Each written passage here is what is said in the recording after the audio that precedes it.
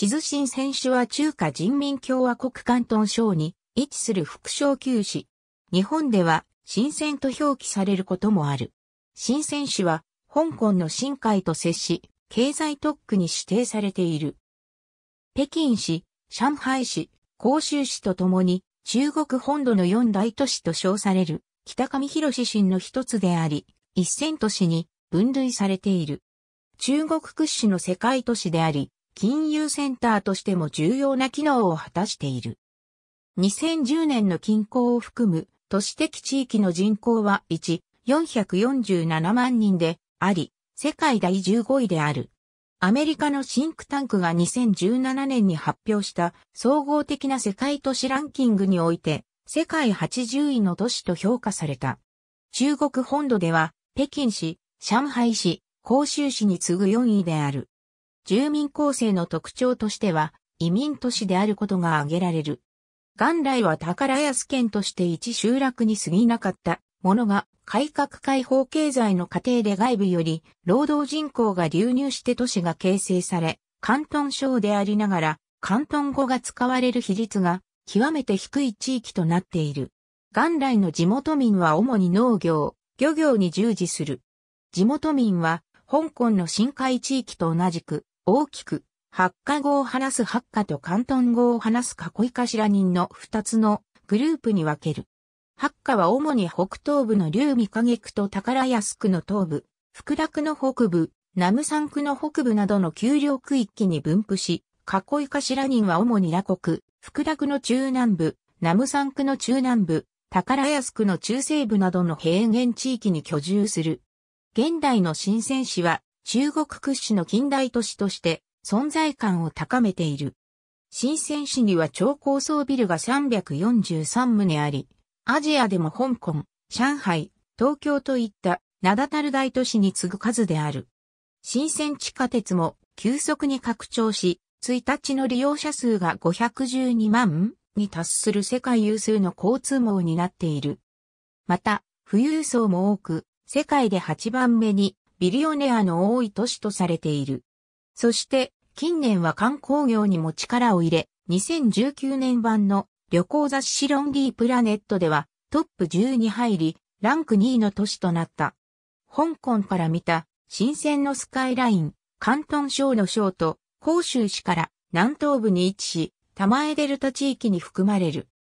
九龍半島の西側付け根部分に位置し、塩田港など巨大なコンテナ港湾を有する。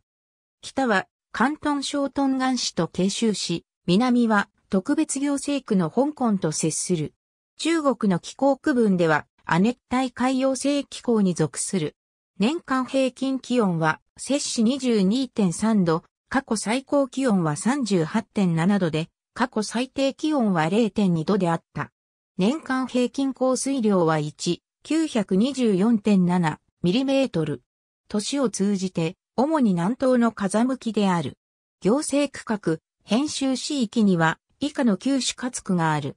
下の一つの新区は民政部によって承認された正式な行政区画でなく主管轄の経済管理区である。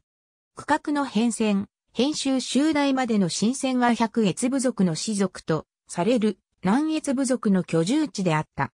中国の司書に登場するのは前214年の清代であり、峰南地区に南海軍、慶林軍、増軍の三軍が設置された際に新戦は南海軍に区分され、中原文化との交流が開始された。現在の新戦市に相当する行政区分が司書において最初に登場する出来事は331年の宝安県設置である。東進はこの地に6県を設置し、それを管轄する軍として東官軍を設置し、現在の新鮮市、東岸市及び香港がある一帯を管轄しており、群れ治が宝安県に設置された。唐の市徳2年、宝安県は一旦廃止され、東岸県に編入された。壮大になると旧宝安県一帯は、南方海上交易の拠点となり、また製塩業や米、茶葉栽培で繁栄し、現代には真珠の産地として司書に登場している。さらに秋夜になると、トンガン種五千古書並びに、逮捕を守る五千古所が設置されるとともに、1573年、旧宝安県の部分に新案件が設置され、河南地区の海上交通や政治の中心となっていた。新末になると、南京条約や北京条約により、新案県の一部であった香港島及び九龍半島をイギリスが植民地とし、さらに新海も咀嚼されるようになり、新案件が分割されると同時に、新海との境界付近の新選挙という挙手が、香港との国境の町として栄えるようになった。新選挙は、現在の新選中心街の東門商業区にあたる。中華民国が成立すると1913年に、新案件は宝安県に解消された。1953年、更新線の開通により、新鮮地区の人口は増大し、商工業が発展していくこととなる。また、同年県政府を従来の南頭より東に 10km ほどの新選挙へ移動し、現在の都市構成の土台が成立している。その後、イギリスの植民地かつ自由港であり、中国への窓口として経済的に発展していた香港と隣接する地理的重要性から1979年3月、宝安県を昇格市の新鮮市に昇格させ、1980年には改革開放路線を採用した鄧小平の指示により、新鮮経済特区が指定されると急速に発展した。なお、1981年副昇級市に昇格し、1988年昇級、経済管理を認められている。新鮮市中心部の夜景新鮮市の特徴は、経済特区という地の利を生かした中国のハイテク企業の本社所在地としての役割にある。ファーウェイ、テンセント、BYD、トスタ、G、電音鍵など著名な中国企業が本社を構える。また、電子機器の製造が盛んなことから、中国のシリコンバレー、アジアのシリコンバレー、ハードウェアのシリコンバレー等とも呼ばれ、世界最大の EMS 企業になったフォックスコンは市内に最初の工場を設けたことで知られる。世界最大級の遺伝学研究所を要するブギーグループなどバイオテクノロジー産業も盛んであり、新鮮で起業した科学者が世界初のデザイナーベビーを発表した際は国際的な物議を醸したこともあった。新鮮は世界最大級の都市圏を目指す越港、沖大湾区構想の一部でもある。例年、新鮮回転中心において、中国で行われるハイテク見本市としては、最大の中国国際ハイテク見本市が開催される。